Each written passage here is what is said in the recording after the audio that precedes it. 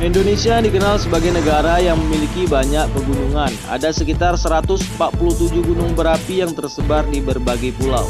Beberapa di antaranya masih aktif dan meletus. Baru-baru ini yang sedang terjadi adalah meletusnya gunung berapi Semeru di Jawa Timur.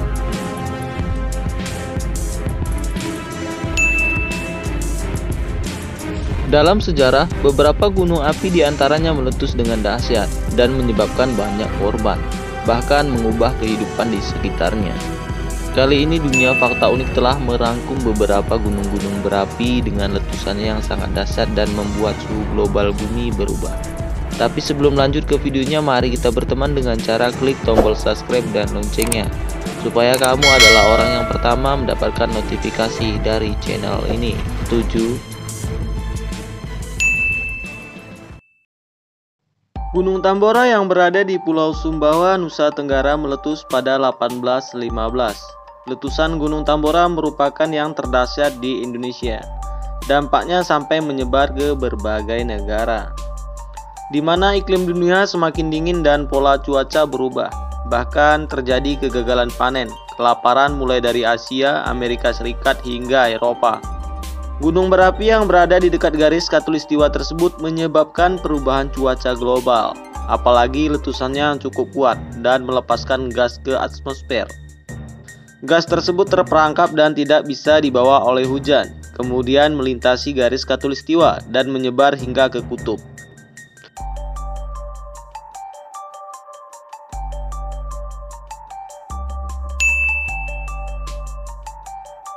Gunung Krakatau meletus pada 26 sampai 27 Agustus 1883 dan merupakan letusan terdasar sepanjang sejarah, di mana letusannya terdengar hingga Australia Tengah dan Pulau Rodrigues di dekat Afrika.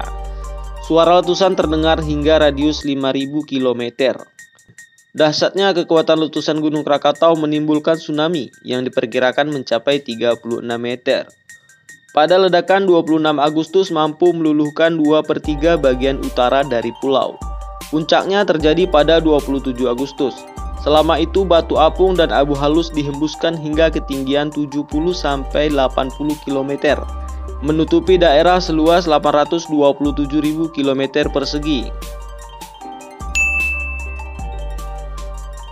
Gunung Toba Gunung Toba terletak di Provinsi Sumatera Utara dan diperkirakan meletus pada 74.000 tahun yang lalu.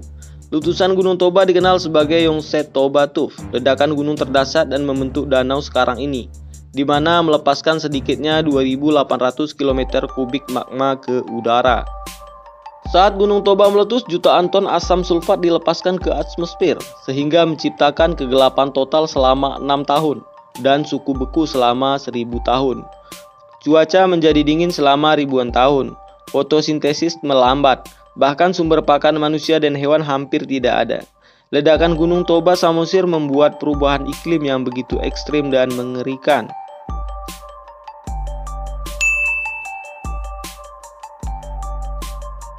Selanjutnya ada Gunung Kelut. Gunung Kelut sudah beberapa kali meletus, terakhir pada 2014 lalu. Gunung Kelut terletak di perbatasan Kabupaten Kediri, Blitar, dan Jawa Timur. Pada letusan 2014 lalu menyebabkan kekacauan di Pulau Jawa karena abu Gunung Kelut sampai ke kota-kota Jawa.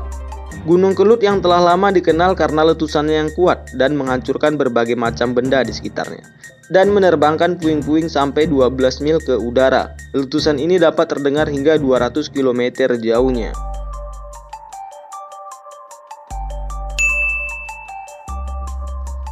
Berikutnya ada Gunung Agung. Gunung Agung pernah meletus di tahun 1963. Gunung yang terletak di Bali ini terkenal dengan letusannya yang terjadi hingga setahun lamanya. Sebanyak seribu penduduk menjadi korban saat Gunung Agung meletus. Tak tanggung-tanggung, abu dan gas yang dikeluarkan oleh gunung tersebut melambung hingga 20 km tingginya. Bahkan abunya sampai ke Greenland jauhnya. Luar biasa.